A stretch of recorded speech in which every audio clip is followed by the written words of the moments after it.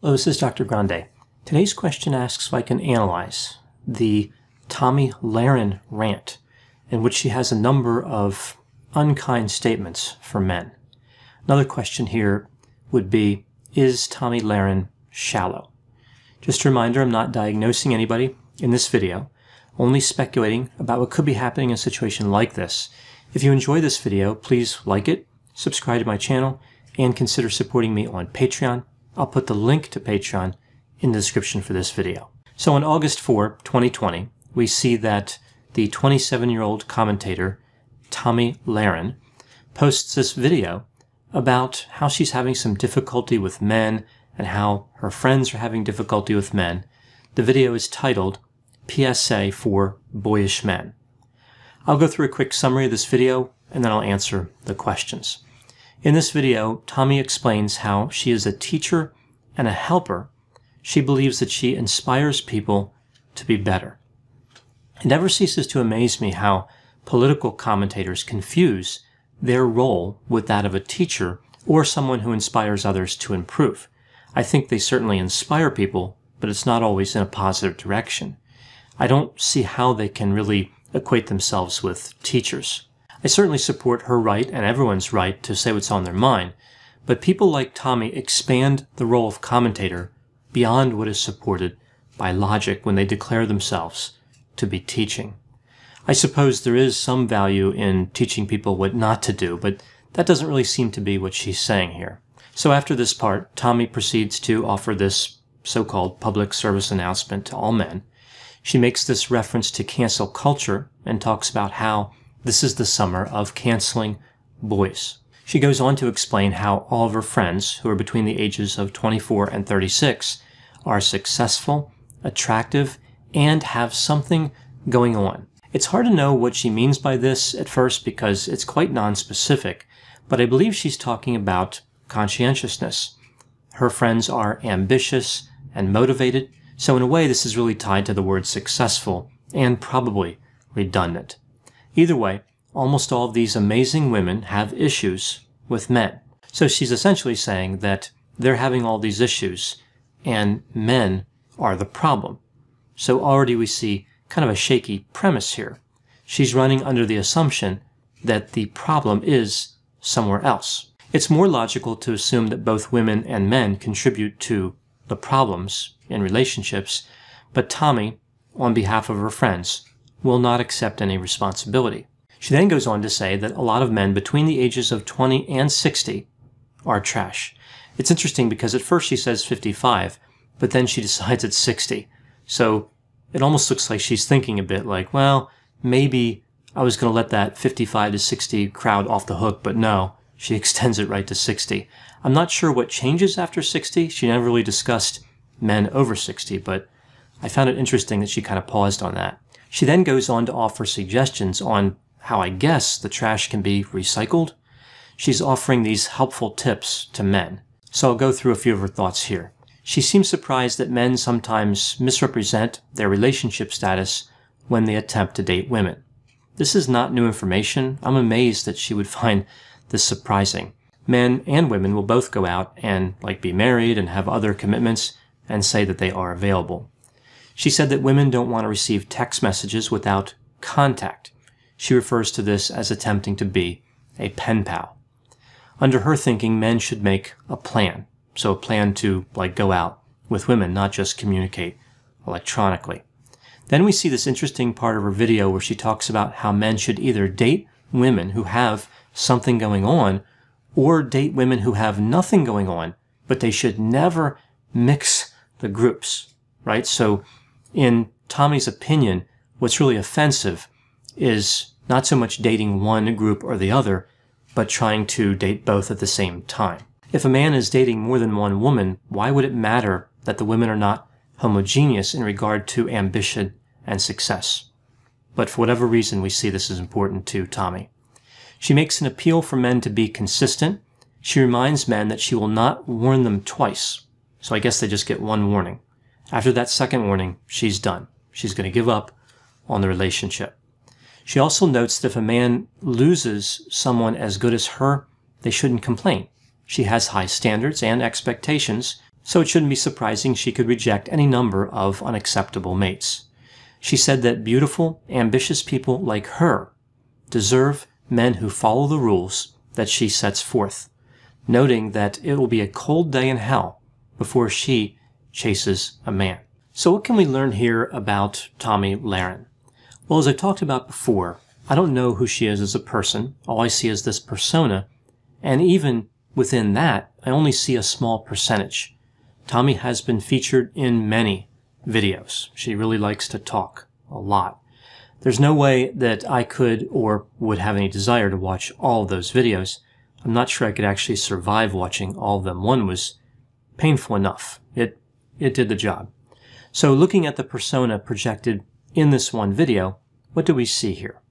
Well, we see someone who is not shy about explaining just how valuable she is. We are reminded that she is intelligent, successful, ambitious, talented, really just outstanding in pretty much every way. And the real problem with men, in her opinion, is they simply cannot recognize her greatness. If they could just do that, they could solve all the problems that she's talking about. If men could just stop for a moment and look at Tomi Lahren and say, now I understand that she is one of the most amazing people I could ever meet, again, their problems would dissipate. Her persona also does not seem to embrace logic. As I mentioned before, the entire premise of this video is that men must be the problem in a relationship that involves a man and a woman. Another logical error is overgeneralization. She and her friends experience some difficulties with men, therefore it must be true for everybody. The involvement of unnamed friends is a common tactic for people who think quite a bit of themselves. So essentially Tomi's saying, look, it's not just me, it's everybody like me that feels the same way. And of course, we're just supposed to take her word for it. So what are my thoughts on the points that Tomi Lahren tried to make, despite the logical problems? Was she touching on some type of truth in this video? Well, calling people trash is impolite and unnecessary for her to make her point about ostensible bad behavior. So she's engaging in bad behavior to prove that other people are bad. Again, doesn't really make sense. I think that men and women both treat each other terribly in romantic relationships. Nobody is without blame. I think if someone is having trouble with their romantic relationship, they need to look at themselves, the other person, and analyze how personality factors could be leading to problems. Sometimes it's not a matter of one person being bad. Sometimes people aren't a good match. They don't make a productive, happy, romantic couple. For example, people high in openness to experience rarely get along with people low in openness. The same thing for conscientiousness. If one person is narcissistic, that will also strain a relationship. I think what a lot of people do is they have this initial attraction to somebody else, and that attraction is very strong and based on physicality, intelligence, success, really many of the themes we see here in Tomi's video. And then because of this attraction, they really want to make it work. But the other person doesn't match with their personality. That doesn't mean the other person is bad. Successful romantic relationships are not really about polishing gems. They're about finding the right gem. Another note here with Tomi's take on relationships, she doesn't mention love, caring, romance. It all sounds very conditional and transactional, almost like she's saying, love me because of my accomplishments and don't love other people who have not accomplished as much. Very much like some type of exchange theory. Like I'm valuable because of my rank in some type of romantic marketplace. Kind of a cold, depressing way to look at something like romance. Not much emotional depth. Which brings me to the concept of shallowness, the opposite of emotional depth. A key part of emotional or affective depth is the ability of a person to understand their own emotions and feelings and understand those of others. Another part is genuineness, a person's ability to be authentic. This construct is tied to openness to experience. Higher openness usually means more emotional depth, but not always. So with this in mind, is the behavior we see in Tomi Lahren's video consistent with shallowness? Well, let's look at some of the tendencies of people who are shallow. people who are shallow tend to highly value physical attractiveness and be extremely offended when a romantic interest favors another less attractive person over them. Like they can't understand how people factor in other variables beyond physical attractiveness. People who are shallow determine their worth by how many material assets they have accumulated or by their potential to accumulate assets in the future. Shallow people are extremely talkative and say a lot of words without conveying actual knowledge. Shallow people tend to be narcissistic, like having a sense of entitlement, believing oneself to be special, being condescending, and having a grandiose sense of self-importance. People who are shallow tend to see life without shades of gray, so everything is black or white. Dichotomous thinking. They are very sure that what they are saying is correct. They're not much on analyzing carefully and coming up with a nuanced view of a topic. They tend to have a simplistic problem solving approach, which of course always leads to more problems. So the content of this video by Tomi Lahren seems to have some overlap with shallowness. Again, it's important to note that Tomi Lahren may or may not be shallow. All I can see is her behavior in this one video, which may not represent who she is as a person. This could all be an act, for all I know. Tomi Lahren offers a lot of definitive advice through her commentary. Much of it is politically charged. In the world of politics, critical thinking is not common and it's rarely rewarded.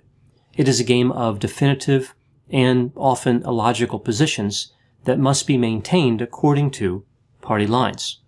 Interestingly, even though I'm critical of this specific video that Tomi made, she has adopted both conservative and liberal positions in her commentary, which has basically drawn the contempt of both sides. In a way, she's caused a lot of interesting discussions, albeit from a place that does not appear to have a high degree of emotional complexity. So those are my thoughts on the Tomi Lahren rant about men. Please put any thoughts or opinions in the comments section. They always generate an interesting dialogue. As always, I hope you found my analysis of this topic to be interesting. Thanks for watching.